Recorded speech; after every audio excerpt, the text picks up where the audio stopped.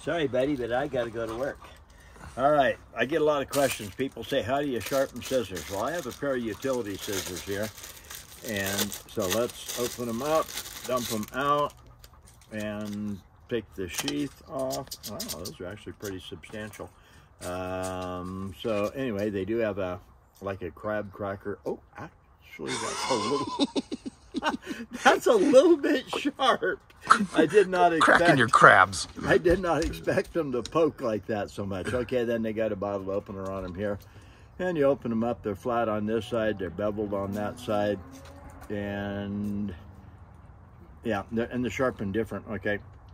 This one here just has a bevel like that, and it's pretty aggressive bevel. It's not flat, but it is bevel like that. And then this one over here is flat on that side, okay.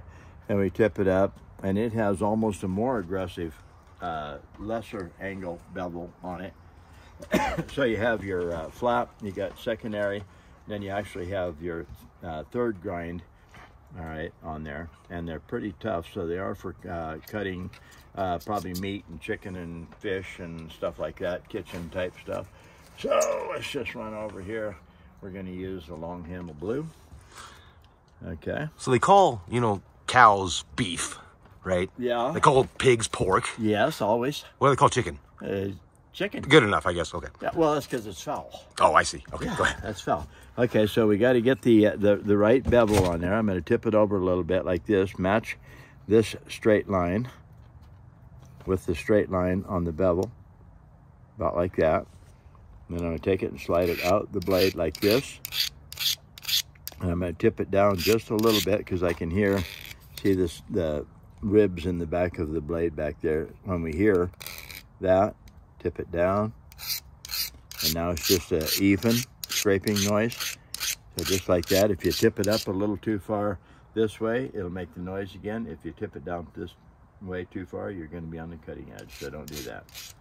So just like that. Boy, those are almost flat 90 degrees across. So just like that. Don't press too hard on it. Let it work. Don't make it work. And then we do this.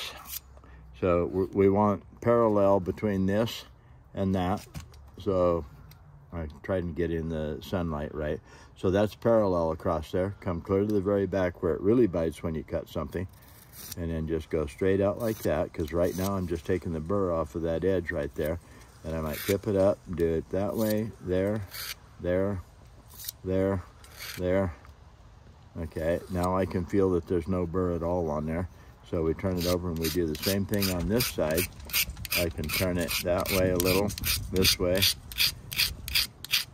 Come back in here like that, this, that. And oop, this is this is a little wide right here. So we, you know, it'll work. Just like that. I just have to slow down and turn it. All right, just like this.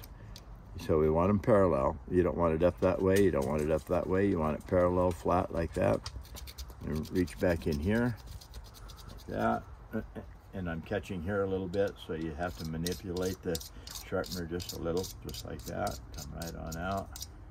There. There. Okay, burr is gone.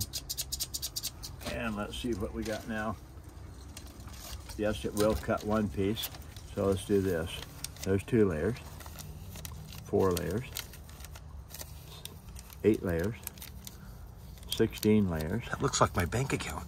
Yeah, like that, 16, and there's 32 layers of paper, okay? You double it every time you do that, so we do. Oof. Oh my, God, keep, whoa! keep your fingers keep your fingers out of the way because once it really does get in there, it's going to cut. So will it cut a little piece without bending it? Yeah, sure does. Oh my God! Oh, Medic! medic! Oh, it's all fixed. This is BradSharpensBest.com. You take care. Go to sharpensbest.com. We're going to see if we carry the scissors, but that's how you sharpen the scissors.